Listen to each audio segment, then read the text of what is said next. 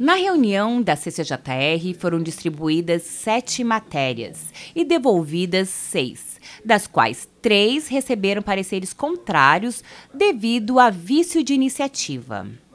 O projeto de lei 74 de 2024, de relatoria do deputado Caravina, do PSDB, que obriga a implantação de fraudários em shopping centers, supermercados de grande porte e cinemas no estado, recebeu parecer contrário, o deputado Júnior Mock, do MDB, solicitou vista do projeto.